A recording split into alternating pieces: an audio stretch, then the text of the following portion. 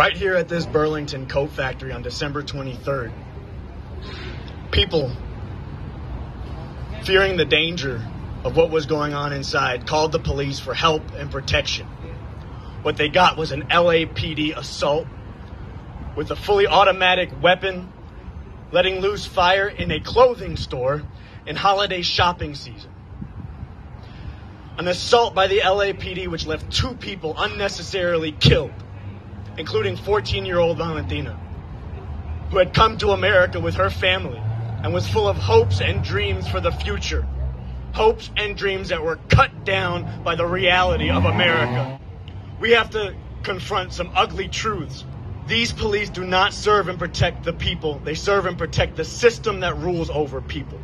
The revolutionary leader Bob Avakian has pointed out that all the reforms, all the struggles to abolish or defund the police, all the struggles to get different faces at top will lead to nothing but a cruel joke whose punchline is more blood and more tears.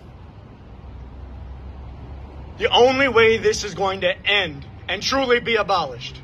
is through a revolutionary struggle of millions rising up to overthrow and abolish the system that needs cowardly, murdering pigs like the one who cut down Valentina. Bob Avakian has also pointed to how such a revolution is possible. Right now, because of the way this country is being torn apart and the way its democratic forms and norms will not hold it together. And as he has said in his new talk on RevCom.us, this will lead to something terrible or something truly emancipating if we go to work to build for this revolution. Bob Avakian has also pointed out that the kind of violence that we saw here is another example of the kind of thing that people need to learn to be organized, to stand together, to defend each other from.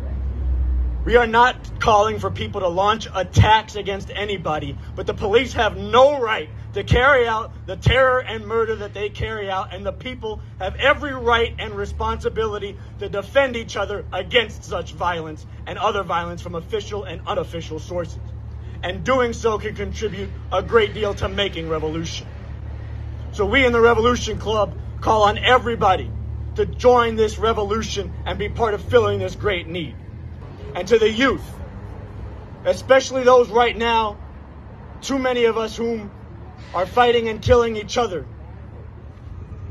Start getting out of that and get into the revolution and fighting to defend each other from this kind of violence and terror. I'll end with this. Bob Avakian in this new talk, something terrible or something truly emancipating, says this. There is no guarantee of achieving all this but there is real possibility. And what we do, what all those who want to see a world and a future worth living in, where human beings everywhere can truly flourish in the fullness of their humanity. What we all do can make a tremendous difference in what the outcome of all this will be. There is the possibility, and there is the challenge. Dare to become part of the forces for this historic revolution. Dare to work resolutely to make this a reality. Dare to struggle. Dare to win.